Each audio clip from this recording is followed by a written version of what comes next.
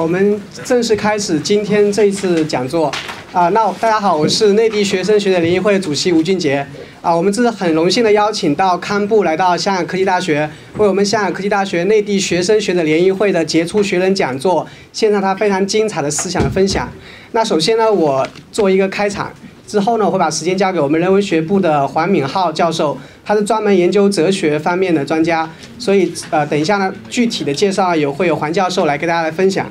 呃，那。今天我们的主题其实跟我们学校也有关系，都是跟科科技谈到科技发展时的佛法教育。堪布也特意跟我们科技大学来选了这样一个题目。啊，下面时间我们有请黄敏浩教授为大家来介绍开场。大家欢迎黄教授。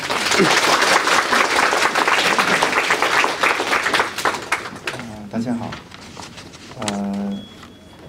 介绍一下我自己啊，我是呃香港科技大学人文学部的黄敏浩副教授。啊，今天呢很荣幸，呃，那个得到这个科大的呃内地学生学者联谊会的邀请，来当这次演讲的主持啊。啊，今天我们很高兴能够请到我们的主讲人啊，来到这里做一个演讲。我们的主讲人呢就是硕大吉堪布啊。以下呢我稍花一点点的时间，稍微介绍一下呃堪布的背景啊，呃。说达吉堪布啊，是四川甘孜如霍人啊。他现在呢是四川拉荣五明佛学院主管汉族僧人的大堪布啊。堪布因为呃感到啊汉地的佛教徒不容易接触到真正的藏传佛教，所以呢一直以来呢将大量的藏文的经论翻译成汉语，并以诀窍的方式进行传讲。二十多年来呢，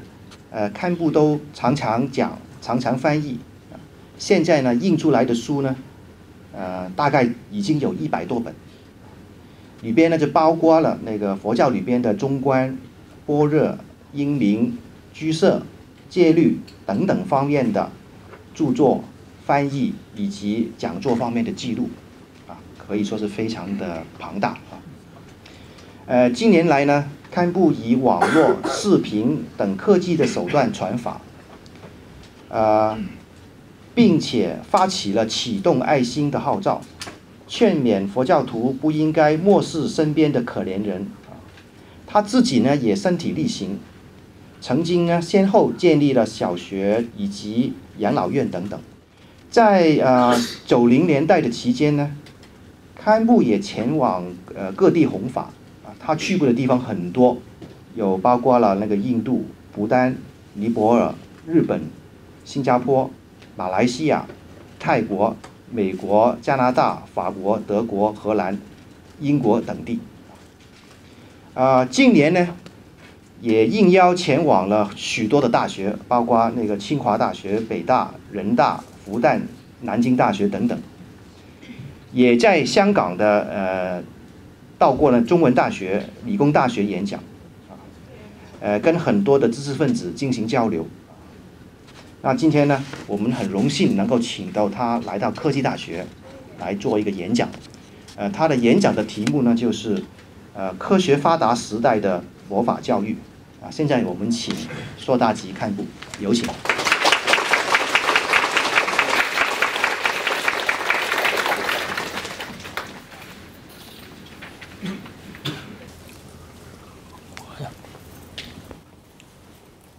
啊，今天啊，很高兴，我们嗯科技大学的呃老师还有同学啊一起交流。嗯，其实刚才呃在我的介绍当中，呃说我一个人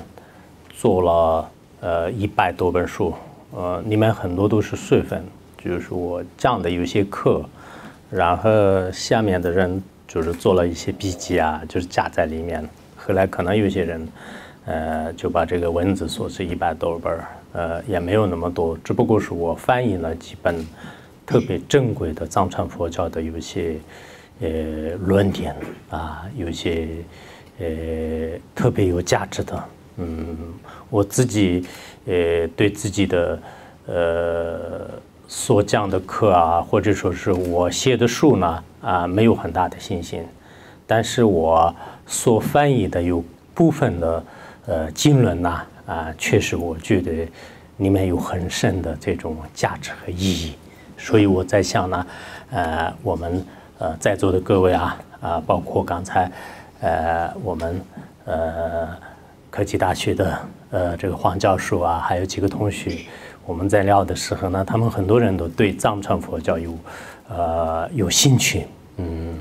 呃，有这方面的这种意乐，嗯，但是呢，可能呃以前呢，因为历史的原因，因为语言的这个隔阂，好多都不太了解，所以呢，呃，我想，呃，翻译出来的这些呃文字呢，应该说是是藏地特别了不起的这些高僧的这个语言。在翻译过程当中，也许可能有有少部分的一些我的这个水平所导致的一些错误，但是我对翻译特别的严谨，应该大的问题应该没有。呃，所以呢，呃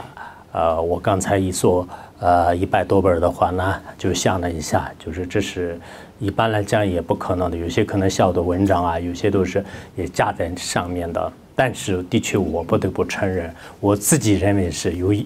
相当啊一部非常珍贵的呃藏传佛教的有一部分，呃这部分呢有些密法部分是我们呃基本上的不公开，就是也有一部分以前法王经密本做注释的时候呢，通过开序啊，呃通过这个获得了官定以后呢，也有部分的。嗯，然后也有呃，大家可以看的一些秘法部分和还有一些先宗的呃，在呃呃这个在我们汉地一般来讲是特别难得的有一部分。呃，我当时就是在想，可能呃人一般离开以后的话，那有些人也许是可能对对有人有利益的。那么其他的大多数都是可能我们平时讲课的时候都是。呃，下面的个别的一些发行人员，他们自己整理出来的，所以这是我想在这里稍微说明一下。然后今天呢，呃，我们呃这个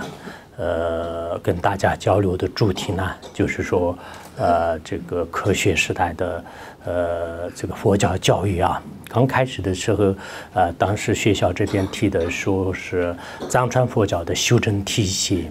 啊，然后后来呢。呃，就是因为这是科技大学吧，就是大家都可能对科科学比较感兴趣，呃，然后呢，呃，就改为呃这个科学时代的呃这个佛教的教育。嗯，不过我个人来讲呢，啊呃，这个现在的这个题目呢，我还是很很喜欢。虽然我呃讲的可能啊没有什么，呃，也许对你们来讲没有什么呃这个很大的触动，但我。觉得当前呢，科学越来越发达的这个时代当中呢，呃，如果这些知识分子，呃，科技，呃，没有一个真正的宗教的这个引导，或者说是他的呃指导的话呢，呃，确实这个科学呢，就对人类是有利还是有害是非常啊难说的。所以，呃，科学家爱因斯坦以前也讲过，就是说，啊，没有宗教的这个科学呢，就是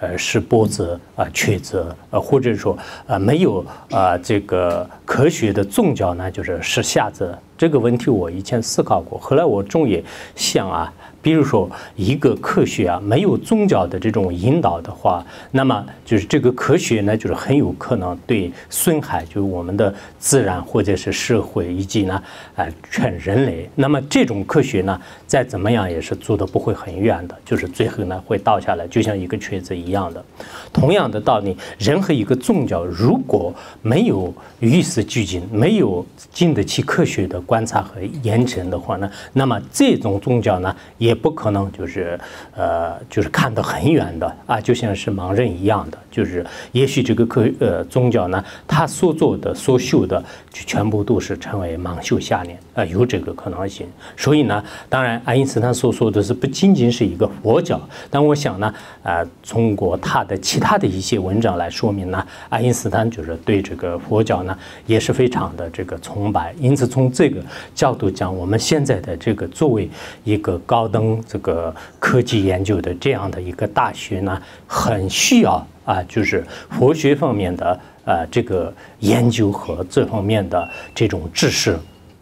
但，呃，这个原因呢，就是非常这个简单。现在我们呃这个社会啊啊，可以说是有一种呃这个。呃，比较这个失衡的状态，就现在的这个社会的呃状态呢，呃，我们在座的人应该呃非常这个清楚的。一方面呢，呃，将现在的这个人们呢，就是特别的一种这个快速的呃，去介介入就特别快的一种呃状态当中啊，就以前呃有一个英国的报告当中也呃显示，说是现在的我们的这个呃生活的这种部署啊。就可以说是这种呢，比前十年的话，那就是已经快百分之十啊，就是快快这个百步伐就是快百分之十。那这样的话很可怕的。十年前呢，我们的这个建筑如果到这个十年的今天就是百分之十的话，再过十年可能我们还要更忙。啊，就是甚至最后忙的话呢，啊，就是可能连这个睡觉和这个休息的时间都几乎都是没有的。现在因为的这个状态呢太忙了，很多人呢在这个短短的时间当中赚很多的钱，就是成功，还要很多的这种事情呢，啊，就是能这个完成。啊，这样的时候呢，人的身体和精力呢也是是有限的，所以有一种说法当中呢，啊，就是说我们的这个时间呢，就是就是这个金钱啊，就是效率呢，就是生命，就是这样的说法。那这个说法呢，就说明了。我们现在呢，就是呃，时间呢，就是特别的，就是对每个人来讲是珍贵。本来也是有很多哲学家呢，也认为时间就是生命，就是有这个说法的。那么我们在座的人，比如说听一堂课，或者说你要利用啊。啊，这个两个小时的话呢，对很多人来讲是他的，也可以说生命当中就是换来的啊，就一生命就是换来的这样的一个状态。那么这个状态呢，就是说明着什么呢？就是说现在呃人类呃到了这个今天的时候呢，就是科学应该不可否认的越来越发达啊，就是大家都知道，就是跟这个以前相比较起来，在从物质上呢，呃应该呃是这个。呃，就很快的时间，可以说是从五十年到现在，也是有个呃特天壤之别，就是有非常大的这个差别。但是我们的心灵的这种安静和心灵的这种快乐，还有呢，呃，就是从道德上、德行上，这有没有这样的一种快速的这个向前发展呢？啊，就是这是应该说是大家就是所有的智者们是比较公认的啊，就是绝对是是没有的。啊，就是绝对是没有，而且呢，当我们的科学越来越呃发达的这个今天呢，啊，人们如果没有这个呃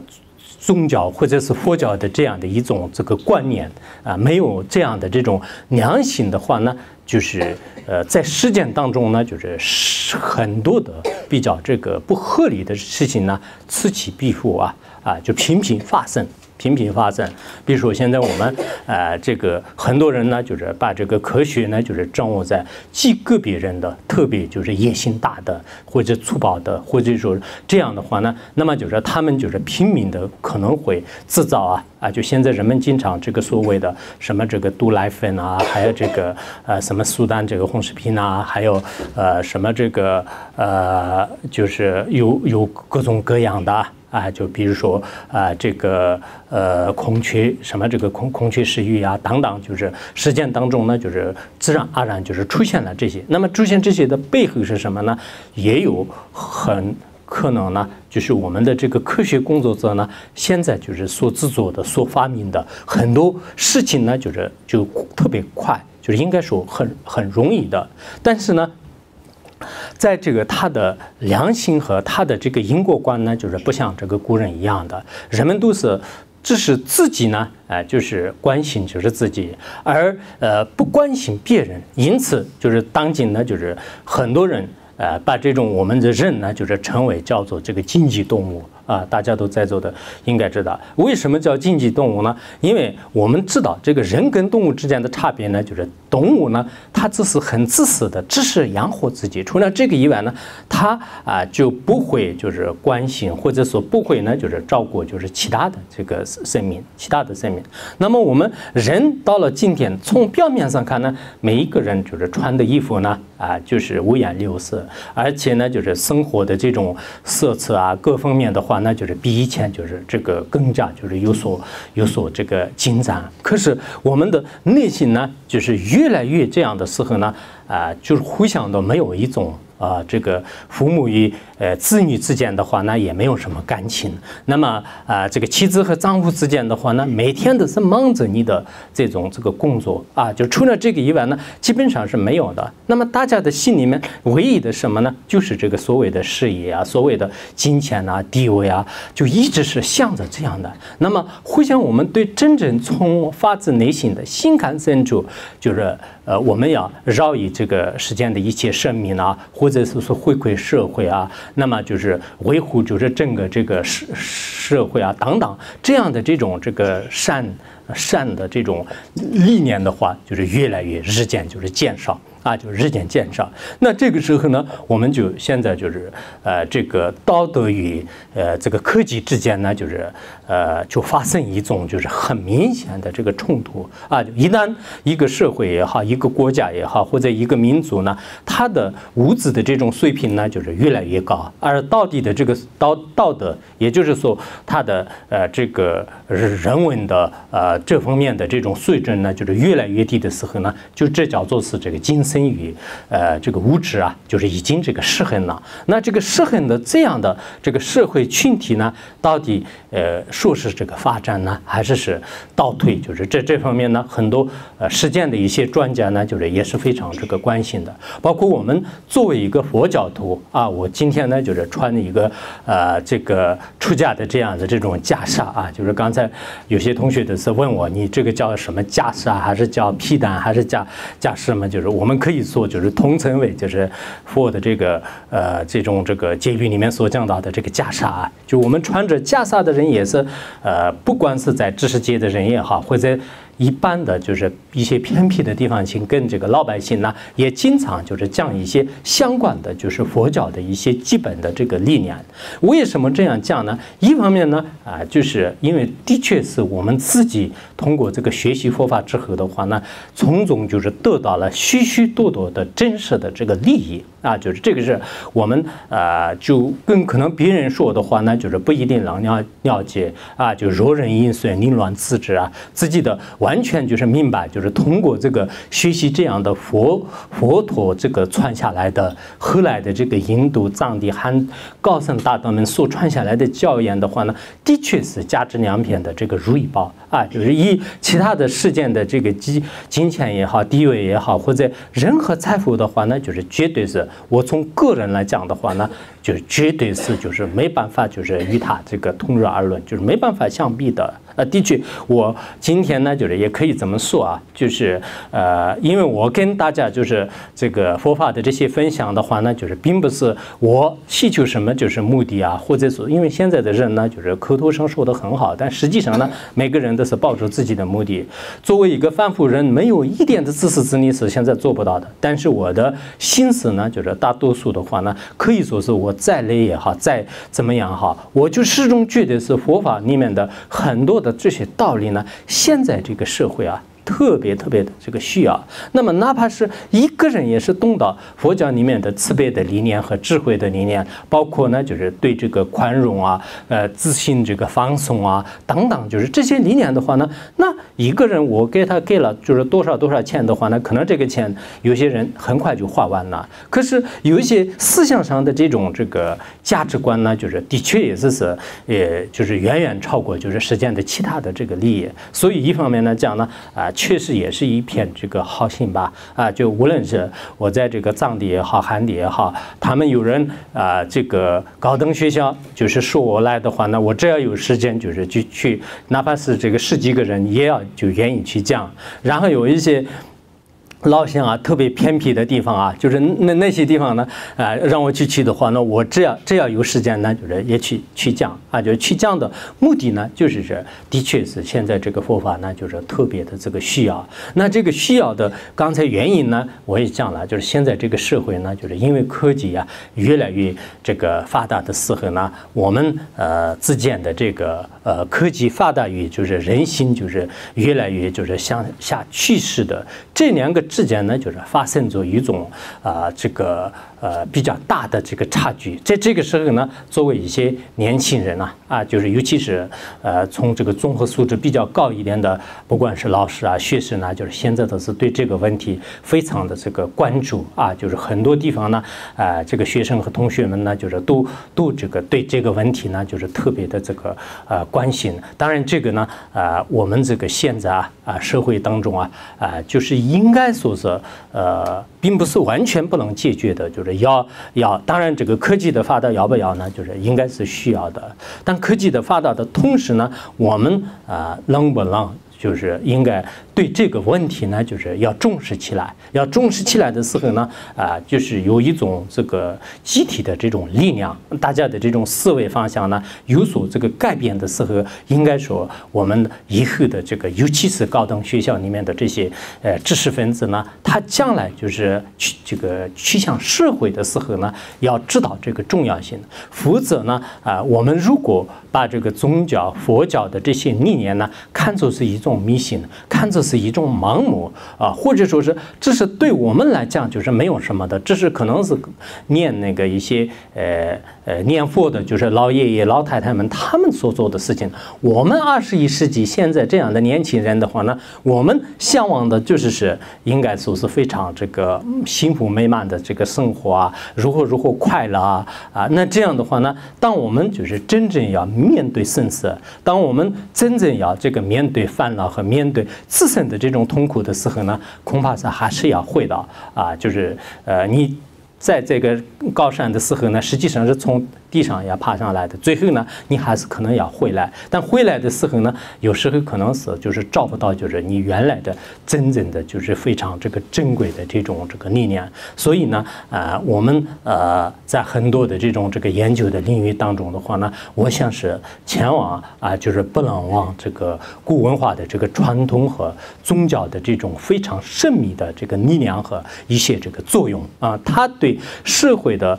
真正的这种这个作用的话呢，可以说是是无法这个呃用这个其他来可以这个代替的啊。就这一点呢，啊，现在包括很多这个呃一些呃学生啊啊，就心里的这种困惑也好，或者说生活当中的这些痛苦呢，就是依靠这个佛法，依靠啊这样的这种古文化的思想来，就是可以解决啊。我记得。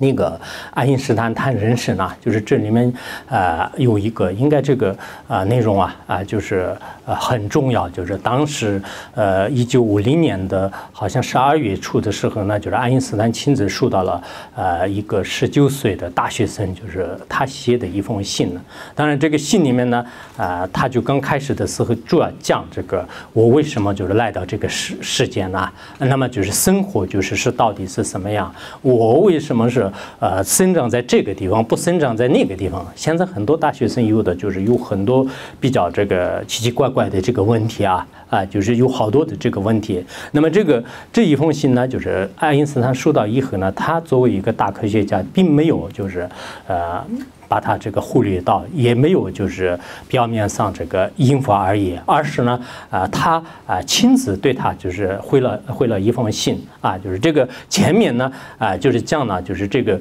呃事情呢，啊是如何如何这个看待，呃，如果你真的要想到到呃得到一个答案的话呢，啊，就是可能你现在啊，就是不是那么很很很容易的。呃，就是不是那么很容易，但最根本的呢，说是呃，你就扪心自问，就是你自己现在当下的眼前的这些事情呢，你做下去，就是这是也是一种答案的啊，也是一种答案的。但最后他以终极性的方式说啊，就是不管怎么样呢，就是在你的力所能及的范围当中啊，你应该满足这个所有人的这种愿望和这个需求啊，就同时呢，你要这个对朋友之间建立起一个。呃这个和谐美好的这种关关系啊。要做到这样的话呢，你大量的应该这个自觉的思考。还有呢，就是自我教育啊，就是自我这个教育，呃，他还爱因斯坦还这个说到，就是说啊，这不可否认的这个事呢，在这个非常重要的这个谜语当中啊。啊，就是开明古代，呃，开明这个古代的这种这个希腊人啊，就希腊人，还有呢，啊，就是古代的这个东方这个先哲们，他们所取得的成就呢，远远超过我们现在的学校与大学。也就我记得很清楚，我原来看过这本书以后呢，就觉得是这一段话很重要的。那么他就刚开始的时候呢，说我们怎么样，就是对这个社会，我们不可能是我们一个小小的人把这个所有的社会呢，就是就改变。呢啊，就是可能有前世的一些因缘的话，那的确你的一些发明呢，就是就像那个呃，就是乔布斯一样的，就是用一种发明或者是一一个简单的事情呢，就是对整个世界带来一种利益，就是有有一种因缘，就是可能可以的。但没有因缘呢，很多人都可能相当也不一定，就是啊，很多现在的有些这个年轻人的话，那就是非要啊，就是当一个就是特别特别成功的人，就是就是拼命的看一些什么，就是现在。非常有钱的、非常这个成功的这些人，但我作为一个佛教徒，有时候看呢，啊，就这也不是那么这个可能容易吧？也许你有真的这个智慧，你有这种这个才能，但是你如果前世的福报没有的话呢，你所有的这些发明呢，就是最后都是不一定就是得到真实的认可。就是所以说呢，有时候的话呢，我们不讲一个前世后世呢，就是你也许精神当中就拼命的看几本专辑，我看那个乔布斯的专辑都是就是就现在就有各种各样的。就是每天只是出来一个新的，就是然后很多人都拼命看啊，他能改变世界的话，我也能不能？就是就开始玩这个其他的手机，你你按一按，但是可能不行的，你按了多多少这，最后不一定就是发明成功。所以，我想，呃，很多人不一定就变成这样的。但是刚才他所说的一样的，在尽可能的、尽量的，我们对这个社会呢，就是满足，就是大家的这个需求。同时呢，我们要建立一个真正的这个良好的或者是和谐的这样的这个人际关系。最根本的问题啊，最根本的问题的话呢，我们的这种答案，就人生的这些答案也好，或者说以后生活的这个答案的话呢，不是我们现在眼下就能解解决到的，而应。应该是呃，一个是这个古希腊的，像那个呃，就是呃，就是柏拉图啊、苏格拉底啊，就是在他们的一些西方哲学的这个理论当中呢，有相当一部分啊，就是这个是公元公元前大概是个四百年前的时候，就是应该说是我们在从中呢，现在也是基本上中国的哲学思想呢，都是像那个西方的话呢，就是学习学习这些，这也是的确是在精神当中来讲，虽然柏拉图的有些伦理当中呢，就是。说这个人有这个前世和世，人有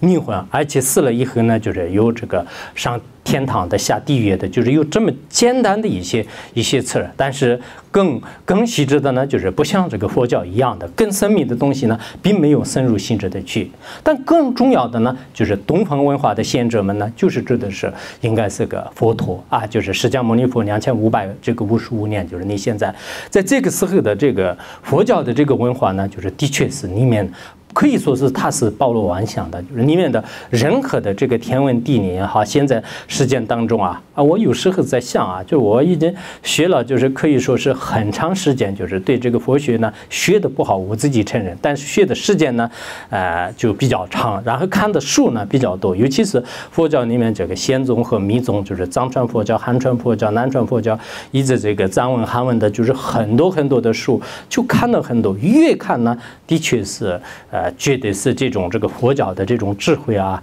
啊，就非常非常的这种啊这个了不起。那么啊这么多的这些智慧的话呢，就是我们现在作为一些这个知识分子的话呢，应该要追求追顺到什么呢？就是呃这两千五百多年的这个佛教的这个智慧，就像唐寅比波斯也是说，就是如果你真的要啊这个拯救二十一世纪的人类的话呢，就是要么就是达到这个大乘佛教，或者说是空蒙思想，就是所说的。这个道理呢，就是非常的这个清楚啊。在这个时候呢，我就想，我们现在就是在这个科学极其发达的时候呢，啊，就是呃，不能就是忘啊，就是这个宗教的一些思想。因为宗教的一些思想呢，我们现在很多的年轻人呢，就是不懂，就是要么把它看作是一种呃。奥秘呃，就是神秘的东西，或者呢，就是看作是一种这个呃奇怪的，就是就这是一种这个呃，因为他自己就是不知道，就是没有进入，没有进行去研究，在这个时候呢，就是给他打一个问号，就是甚至有些呢，就是。不不懂的这些人呢，就是把它当做一些迷信来，就是对待，这是非常不科学的啊！的确，这个我们佛教里面所讲到的这些呢，就是还是应该以一个比较客观的态度来去进行分析，这是非常有啊有这个必要的。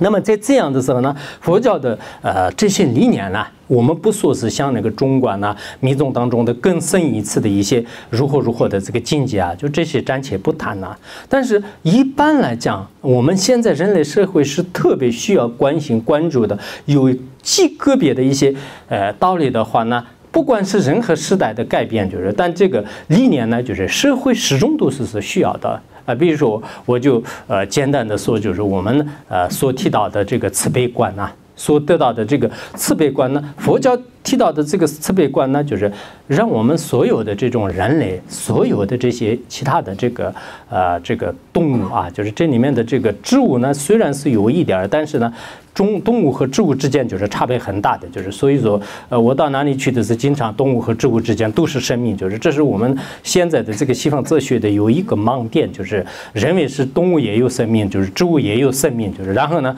就现在很多这个知识分子呢，呃，如果杀动物和杀植物就是太过分的，就是他们两个的过失一模一样的，就是有时候是看着这样的，有时候的话呢，就是哦，这个呃呃杀植物也有过失的，就就就这种这种说法的话，那就是不。正确的应该说是人跟这个动物呢，就是的确是有这个生命的。那么佛教的这种慈悲呢，就是一直包括到这方面的。如果我们没有包括的话，那就是至少也是在现在科技发达的时候，人类啊啊，就是保护这个动物主织的这个一些受到威胁的时候呢，我们的慈悲的理念呢，就是很多人呢很难以得到这个解解释。啊，就很难解释。所以诸如此类的很多事情，在我们生活当中发现的时候呢，我们会知道啊，就是佛教的这种这个慈悲观呢，就是非常这个适合，就是人类，就是科学再进步也是人类没有一个就是啊，今天因为科学太发展了，就是所以我们也好，别人也好，不需要慈悲啊，就这样的这个时候呢，也不会有的。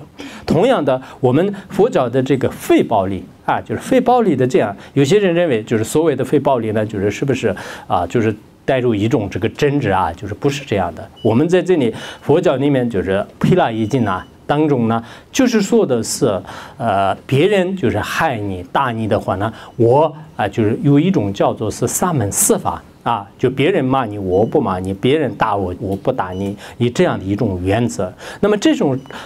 原则呢，就是叫做是这个非暴力。这样的这个非暴力，就人类需不需要呢？的确是需要的。刚开始我们接触的时候呢，是不是我们那这样的话呢，就是我们会不会很脆弱啊？那很脆弱的话呢，现在就是强大的这种这个国家也好，强大的民族呢，会吞噬你的，应该是反抗啊。但是这种反抗呢，我们在二十一呃十八世纪、十九世纪的时候呢，各个国家都是就是拉着自己的武器啊，就开始这个互相的就是枪战过。但是到了这个今天的时候呢，就是人们都觉得是这不是很科学的，应该。是还是用一种和平主义或者是人道主义的方式，所以在这个问题上面，非暴力的这种道理呢，人们稍微有一点就像三点半的，就是一种这个呃秩序啊，有有一种这个感觉，但是呢，我们还没有就是完全就是弄到了它的懂到了它的意义，因此。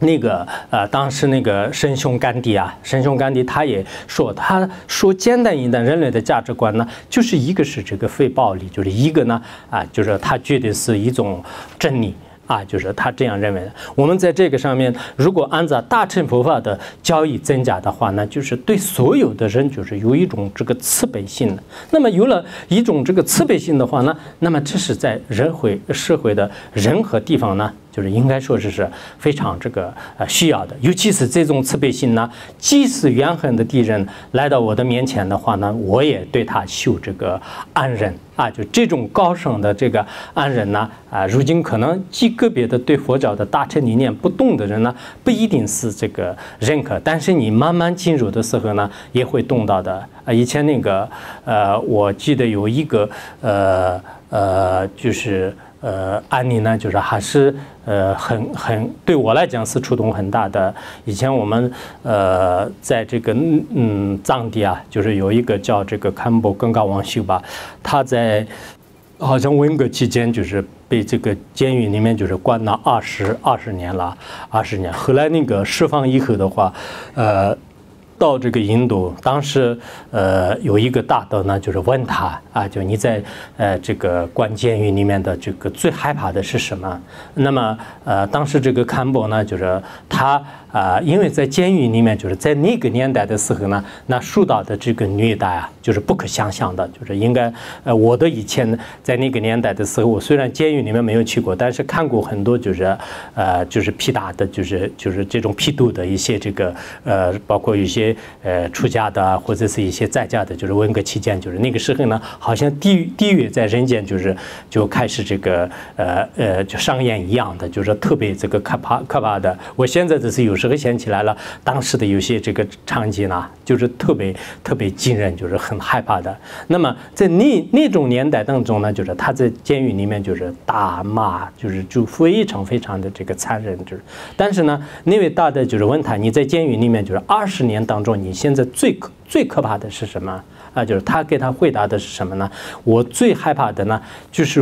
害我的人呢。我会对他这个产生嗔恨心，失去我的慈悲心，就是我最害怕的这个。他并没有说我在那个年代的我在监狱里面最害怕就是饿死啊，最害怕别人把我打死啊，就并没有说。就是因为他的这种这个慈悲理念的话呢，可能我们啊不要说这个没有对宗教佛教就是细细致研究过或者进行实修过的一些呃实践人，就是甚至我们啊就穿着这种衣服啊，常年都是在这个寺院里面待的。那么啊，我们就是听到这样的时候，万一在我们身上发生了这样的一个现象的话呢，可能我们啊就会产生什么样呢？这个人今天打我，就是终有一天我又没有这个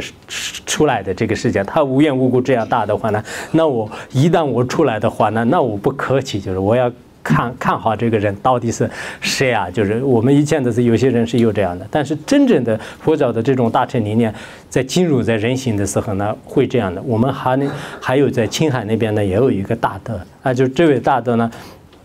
他在那个年代当中呢，就是每天都是也是就是爱这个批斗，爱批斗的时候呢，呃，就一般来讲也是也是是这样的吧，就是呃这个批斗的人呢，就是所有的这个呃大会里面的人就是坐在一处，然后这个呃爱批斗的人呢，就是在这个前面，然后有个别人呢，就是先讲一讲，就是这个人是以前就是犯了什么错误啊，他呃什么这个怎么样这个学佛的，啊就是他是怎么怎么，然后呢，就是一个两个的上来就是开始跟他。大，但是这个这位大德呢，就是他每一次。呃，上来就是他要结束这种这个殴打的时候呢，刚开始的时候发发响，我们呃一般呃不知道你们听过没有，就是叫这个三书生，就是三书生是刚开始要做任何善事要发菩提心，我为一切众生发菩提心，然后中间呢就是在一种无缘，就是不执着，就是不不不痛苦的这种状态当中，最后呢把这个善根回向给所有的众生，就是这个我们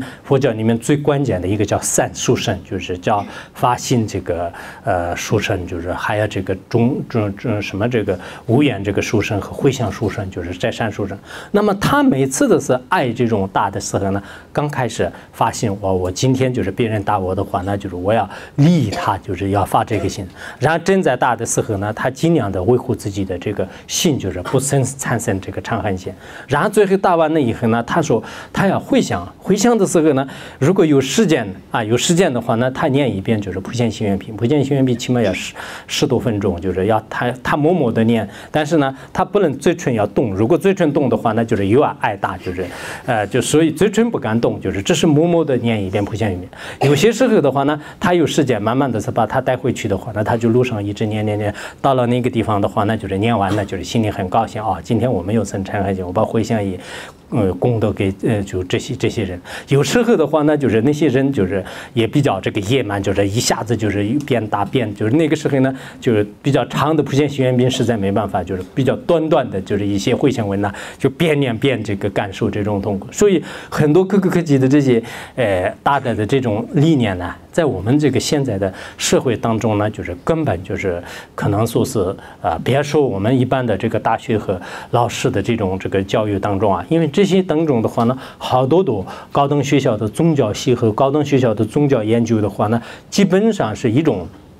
一方面是，呃，就是像马克思的一些这个宗教观呢，我也看过一些；要么呢，就是一种这个哲学思想，就是西方哲学思想和东方哲学思想的一种理论上。那么理论上的话呢，也是是后人就是编造的，就是中间的有部分呢，就是可能是跟大家就是不愿意就是特别接受的一些道理呢，就是删掉，就是这样的。其实这样的现在的很多大学的这个课程啊，就包括一些宗教系的课本的话呢，以真正的一些宗教的理论或者是实修相结合起来的话呢，可能就是差的比较比较远。啊，就因此，我也希望有一些呃，这个同学和老师呢，就是对真正的佛教啊，就是感兴趣。这样的话呢，一方面当然我们要跟那个学校的这个各个学校的这个研究的课本课题呢，就是也不能就是呃放弃，就是因为这个是一方面跟自己的工作啊，啊，跟这个生活啊，还有这个你的研究课题报告都有关系的，就是也不能。但是同时的话呢，可能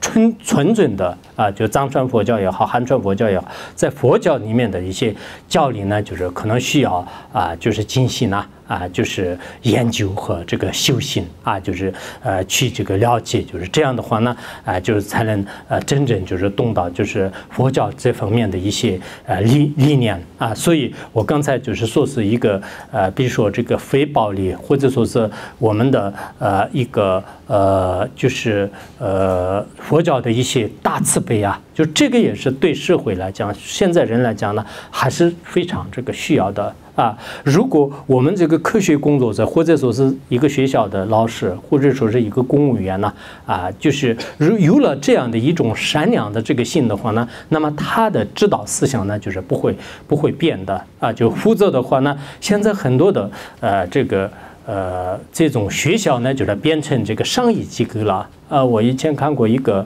呃，美国的，呃，叫做是，呃，什么这个罗伯特啊，是一个教育家，也是一个改革家。他说，呃，如果一旦这个学校呢，就是成为一个经济商业的这种这个机构的话呢，那这是很悲哀的。我看到有些学校的话呢，就是完全是输的很多很多学生，就是输学生的目的是什么呢？就是这个要对这个自己的这个商业呢，就是有一定的这种这个，包括有一些这个其他的一些这个有关系。但是呃，学生就是虽然很多，但是呢，呃，这个真正是学到知识的才子呢，就是不是不是很多。为什么现在的这个失业失业率啊，就是这个呃，就找不到工作的这种失业失业率？呢，就是越来越高呢。就是其实我们呃读的大学的人呢，就是比较多，但是真正就是学到就是知识，因为你到了这个社会上的时候呢，就很多人都是就是没有真正的这个大学的这种水平呢。实际上，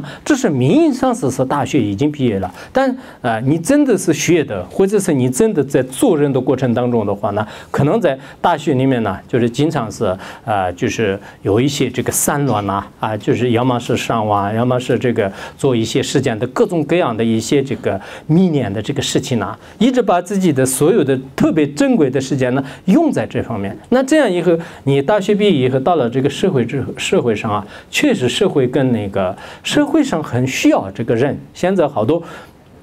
不管是这个企业也好，就是部门的呀，老师也好，都需要人啊。然后我们实践人呢，就是好多这个老师，呃，大学毕业的人呢，就是也是找不到这个工作，就包括现在内地的话呢，好多这个博士生啊，好多这个博士后都是找不到工作，就是为了六年，就是一直等着，就是每次考试呢，就是有时候也是因为在。读书的时候呢，就是没有特别的可能专专专心呐，还有呢，就是有可能其他的原因。那这样的话呢，我们社会就经常发生一些脱节的这个关系呢。我想是有些是可能跟这个其他方面的原因也有挂钩的，但最根本呢，我们每一个人呢，就是包括老师也好，然后学生也好，性呢。并不是像古代的人一样的，真正是这个求学上面的。好多人的这种心呢，就是在学校里面也是这样的，一直这个散乱呐。啊，就我那天我，呃，遇到了一个大学生，啊，他是博士，博士生马上要毕业了。我说你在这个学校期间就是读了多少知识？就是他说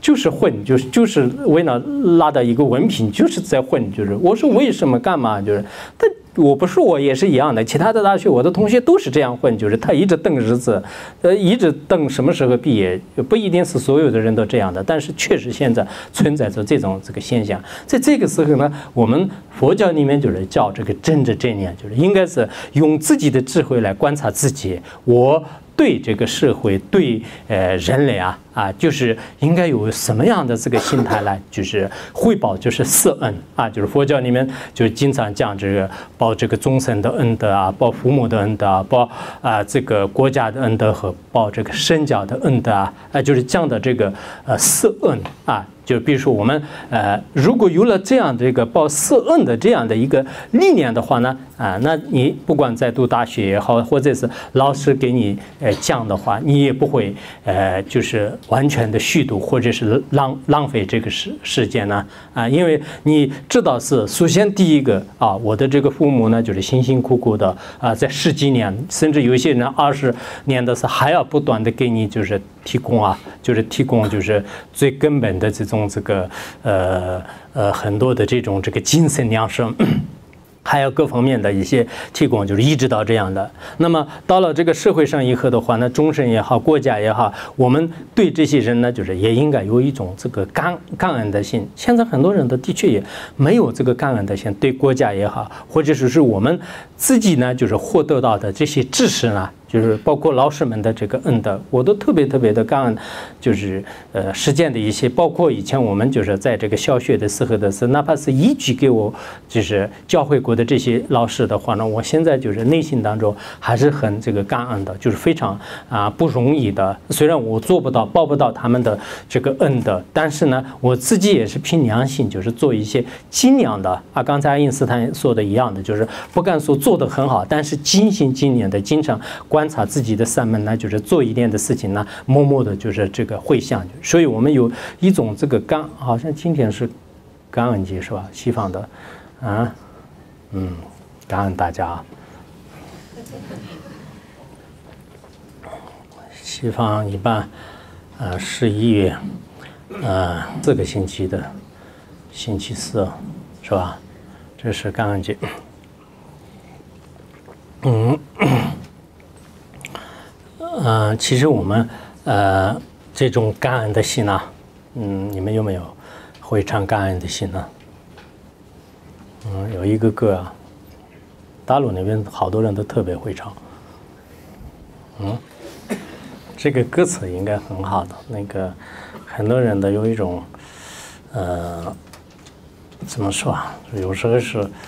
呃一种呃。引导就是内心当中对别人产生一种，不管是谁，我们现在很多对社会的一种抱怨，就这个对我不公平，那个对我不好，然后谁都心里面不舒服。在我们佛教里面呢，呃，经常讲那个学的，呃，越来越好呢，就是心情越来越舒服，什么都应该想得想得开，啊，就想得开，不像现在这个世间人一样，就是对有些人特别特别的执着啊。我以前看。你们香港有一个人什么，呃，好像男女之间的事吧？一个男的就是说是分数，就是两个字，就是然后后来连续的是，呃，就是断绝了二十多个生命，就是然后就是以前我也看到过一本一本书啊，就是有有这样的，所以很多包括就是世间的一些年轻人，就是对感情也好，对生活的矛盾呢，很多呢就是有一种这个怨恨，就是嗔恨心。呃，烦恼痛苦就是那么修得越来越好，或者是学得越来越好的话呢，呃，就是这些这些这个痛苦呢，就是慢慢慢慢就是减少。因此，在呃藏地啊，的确我有时候很羡慕，就是藏地的一些寂静的山里面，就是就修行人。这些修行人呢，呃，虽然没有就是现在大城市里面的这种特别富裕的呃物质生活啊啊，或者说是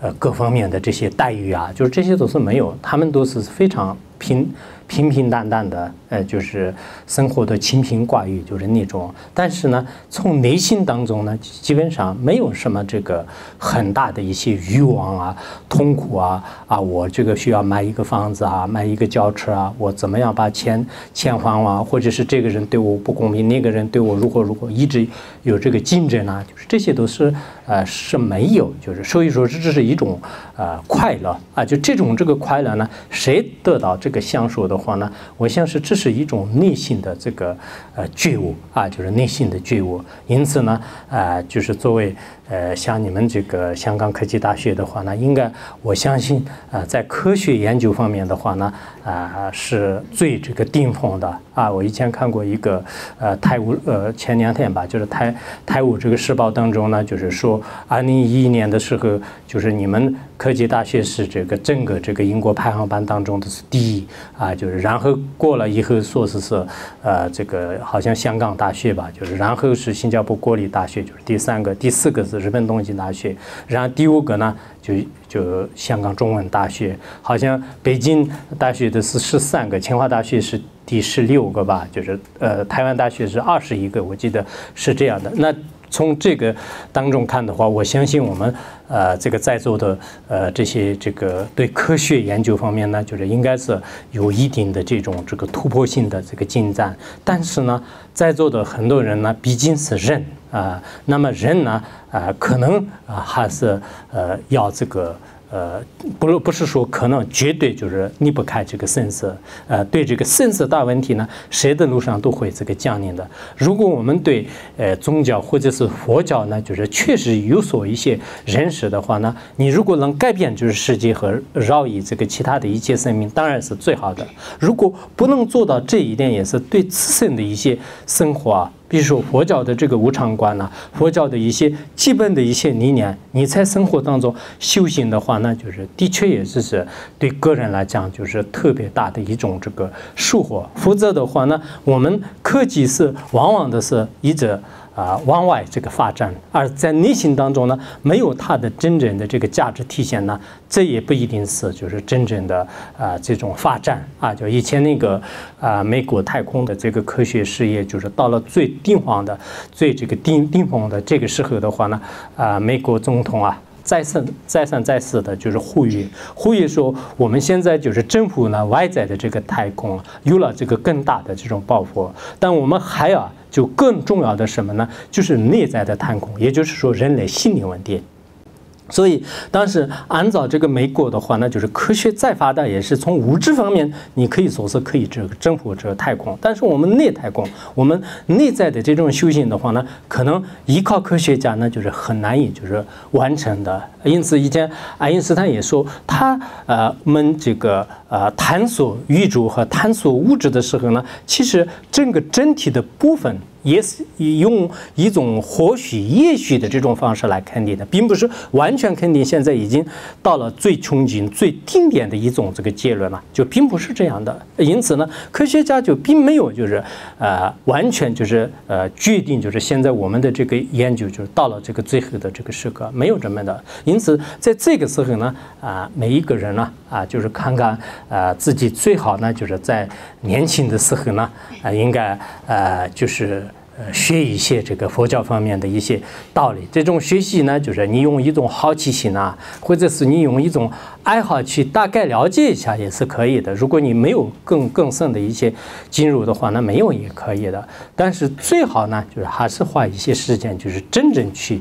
不单是要了解，还要去这个实修。有些人经常认为，啊，我可能呃，这个呃。呃，就是现在，就是我要这个，就成家立业啊，就是做很多的这种这个实践的有意义的事情。当我老的时候呢，我才去学佛，就是那个时候就你的这个精力啊，你的很多的这种呃这个呃因缘呢，就就没有了啊。就是所以以前就是古人也是呃说啊，就是说这个呃五五代老来呃什么就是呃这个呃才放学道啊，就是不要就是老来的时候。就是才这个方方学道啊什么呢？啊，就是古呃古坟多是少年人啊，就是无无代老来方学道啊古坟。都是少分，呃，少年人，呃，不要呢，就是你这个学道呢，就是一直到白发苍苍，满面皱纹，在那个时候呢，你去学的话呢，可能糊里糊涂，就是好多都误解，就是好多都理解不上，就是如果实在是因缘没有碰到的话，没办法。但我想现在这个时代当中，就好多这个高等学校里面的有些呃学生啊，有些老师的话呢，的确是对这个佛教就是不仅仅是干这个兴趣啊。啊，就我们前一段时间，啊，这个你们这里的有个别大学生也当时这个参加了，就是在呃这个我们佛学院，就是拉拉拢啊，在那里就是开这个大学生的这个夏令营，在那个时候呢，就是感觉到很多人的水平就是的确就是非常非常的这个不错的，而且呢，我们自身当中的很多科学无法解释的很多问题呢，都会这个出现了。啊，每个人都是有些人呢，让这个确实是能回忆自己的这个前世。有些人呢，在梦中也好，在白天的境界当中，确实也是呃，就是能感觉到就是诸佛菩萨的这种力量或者是加持啊，就是这种啊。还有些人呢，你在工作不顺利的时候，就是祈祷，就是呃祈祷，就是然后就是念佛啊、求佛啊，最后的话呢，就是得到真实的这种感应呢，很多很多诸如此类的。那么知识分子当中的话呢，现在。如果你没有理论上的一种啊这个解释或者说是肯定的话，光是一种形象还是不行的。啊，香港这边呢啊，的确是一方面就是特别好。就是为什么呢？因为很多老师，呃，好多这个，包括一些学生也好，你是基督徒的话呢，就是自己也说是我是基督徒，我是佛教徒，就是很很很明确的跟大家说，领导当中也是这样的，老师里面也是这样的，这是很自然的、很坦率的啊，不像有些有些人一样，我明明是这个学佛的，就是然后装作我从来不学佛，我从来不学佛啊，就就这也没有没有这个必要的。其实我们还有很多，我在这里很。很多学校里面很羡慕的是什么呢？就是我们这里的这个。呃，社会当中啊，如果有了信仰的话呢，人们都把他认可，就是而且这个人是非常好的，就很可靠的。我这个人是有信仰的，至少也是他还是承认，就是有善有善报，恶有恶报的。所以呢，把他当会计啊，当部门当中的主要负责的话呢，比较有一种这个呃信任感，就是大家的啊。在有些地方的话呢，也不是这样的哇，你你是不是学佛的哇？那学佛的话一定要注意，上上下下都是把他看着这个怪人、怪怪物一样。的话呢，那学佛的人也是不得不胆战心惊，就是最后的话呢，就是也很可怕的。但是这个是有很多的这种这个慢慢慢慢的，可能很多地方的人呢，我是这样想的，就是最好是还是坦白的，就是比较直率的啊。就你是如果啊，尤其是我们很多佛教徒的话呢，就是自己的不敢就是说出来，我是佛教徒啊，就是我不敢说我现在。不是佛教徒，我只是稍微研究一下。不不不，我是我对佛教有点爱好，就是。我有些遇到一些领导啊，就是这个时候呢，明明是他已经皈依了很长时间，就是然后呢，就是他一直念佛啊、佛堂啊，就是这些呃是有的。但是呢，啊，我问那个你是不是佛教？哦，不不不，我不佛佛教，佛教，我只不过是研究佛教，我喜欢看看看，就是不不信，我不信仰，我们不信仰。他其实信不信仰的话呢，就是的确是人的一种内心当中的，就是很难这个改变的。我们也没有必要就是改变，就是你是。啊，这个信就是马列主义的，要改变你的这个信仰也没有必要的。你是信基督、信天主教、信儒教，就是那一个都是是非常这个合理的。因为每一个宗教的这种这个存在也好，或者说是非宗教徒的话，我们也是非常这个尊重的。就是这是因缘，佛佛陀为什么说是因缘二生法，因缘二灭，就是这个原因呢，也是这样的。但是我也提醒呢，确实是我们很多更深层的这些智慧也好、悲心也好，这些都是人类就是最根。根本的一个灵魂，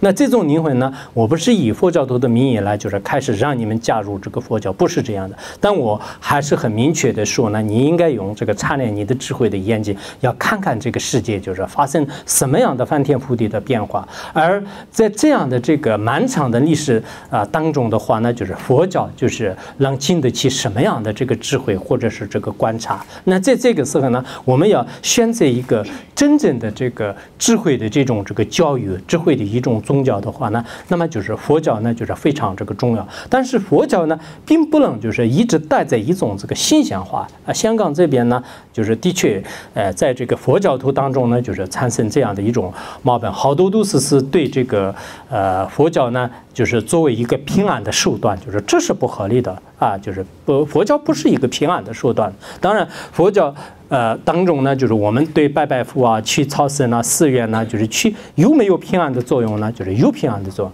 但佛教的最根本的是什么呢？就是它是一种这个教育。我们作为知识分子或者说是佛教徒呢，一定要去学习它的这个精髓思想啊。如果我们去学习的话呢，最后我。心里面得到的这种智慧也好，得到的见解的话呢，永远也是是不会这个摧毁的啊，就是可以牢不牢不可摧的，就是这样的一种见解。这种见解呢，我相信你不管是从呃这个从智慧方面，比如说现在物理学的一些呃，包括量子力学啊，或者说是任何一种这个更细微的一些微观世界的智慧来去观察，也是是破不了的。然后现在我们的一些其他的一些博爱和一些这个呃关爱的这种这个思想来进行呃就是推推敲的时候呢，也会经得起。因此，我想佛教的真正的这种啊这个博大精深和一些浩如烟海的这个千经万论的内容的话呢，现在很多佛教徒呢。啊，就并没有就是去这个深入的去学习，这个学习的这种气候啊，就是这这种风气呢，就是比较就是淡薄。就这一点呢，啊，我想我们这个佛教呢，就是不是一种这个心向上啊，这是皈皈依啊，办个嗯皈依证啊，或者这样的话呢，那。你今天呢，就是可能跟佛教徒里面就是办个皈依证，就是参加几个仪式啊，就看看有没有什么感觉啊，有没有什么感应啊，所以说笑一笑，唱唱歌啊，那可以就是这样也是可以的，这是佛教的。但是你心里面就是最根本的是佛教的这个思想，佛教的思想呢，的确是要学习，最好是一些传统的经典和论点的特别深层的这些意义。如果实在是没有这个三知识的引导，或者没有这样的导游的引导的话，那基本的一些。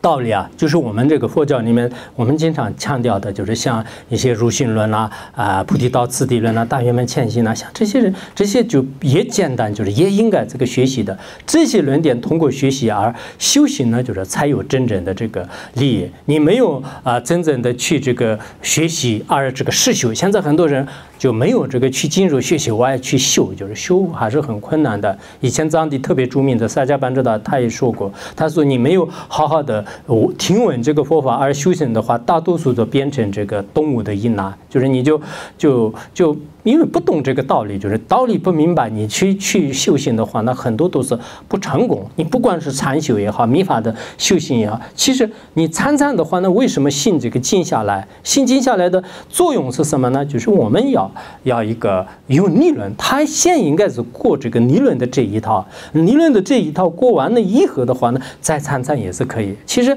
你这样的参禅有没有利益呢？的确是有利有的。啊，就，呃，现在那个，呃，我们不说，就是有些更深深层的内容的话那，就是可能科学也是无法这个验证的。但是一部分的话那，的确现在，呃呃，美国这个纽约啊，就是有一个科学叫叫做是那个，呃。出让啊，就是出让。那么他啊，就是呃，经过很长时间当中呢，就是对参禅者的身身体啊啊，通过有一些呃，这个他的大脑的这种翻译啊，还有这个核磁共振啊，还有一些呃，就是呃，就是有一些这个各方面的这个呃，就是以这个电子这个设备来进行这个测试。进行测试以后的话呢，那么就是呃，大概是他就是。定期的，就是对二十多个人的身体呢，就是进行这个测试，进行测试很多年了。后来就是他发现，就是残修以后的话呢，那么这个人的这种身体啊，就是很多的这个。解剖就是或者是细胞的这种免疫力，就是已经功能非常这个健全了，而且呢，呃，就是我们平时的所谓的啊这个呃，比如说这个忧郁症啊啊，还有就是实践当中的很多老年痴呆啊等等，就是这些病呢，就是完全都是可以这个对抗的。呃，就整个心态呢，就是越来越就是快乐，就舒服啊。其实常常就是不说我们就是对来世和对。更深的奥秘的这些道理，就是马上通达。呃，就对今世的，就是暂时的一些因缘的话呢，就是的确也是有很大很大的一些帮助。但是呢，啊，我想这些修行呢，就是一定要要有一个理论的这个基础。没有理论的基础的话呢，那么这个修行也是是啊不会这个成功的。有些人呢，就只是学一学、研究一下就可以了。其实研究一下根本你就感受不到、体验不到，就是佛教的深深意义。你们方便的时候看一下这个呃什么呃那个呃《楞严经》啊，《楞严经》里面就是呃说我们听闻呢这个佛法呢没有去修行呢，等于是这个没有修一样啊，等于是没有听闻一样的。就像我们这个食物呢，就是在口头上说，但是你没有去吃的话呢，你饱不了肚子啊。你光是口头上馒头馒头，你们这里说不说馒头啊？啊？西周啊，说说馒头是吧？啊？嗯，你光是说这里有个苹果，苹果啊，嗯，嗯，所以，所以，为了跟乔布斯那个就纪念，就是大家都吃一颗就可以了，啊，嗯，那个，呃，呃，就所以那个。光是光是这样，所以说啊，就是所以说有没有这个作用呢？就是是没有作用的，一定要实修。所以很多大学士呢，就是好多知识分子的话呢，现在有些人口口头上就是说夸夸其谈，就是说的特别漂亮，但自己从来都是没有修过，没有没有想过，没有想过的话，佛教里面最简单的一个人生难的寿命无常的话呢，好多人呢研究一辈子佛佛教宗教系的一些这个啊，就是特别就是了不起的教授的话，那就是一点感觉都是。是没有的，就是那这样的也是是非常这个呃不合理，就是因此呢，我们就是名副其实的对佛教呢，就是做一些呃这个呃这个研究啊，就是做一些真实的这样的一种啊这个修行啊，就是这个是应该说是非常这个重要的。那最后的话呢，我啊就是有一个结尾啊，就是简单就是说啊，就是大家的这个心里面呢，应该产生就是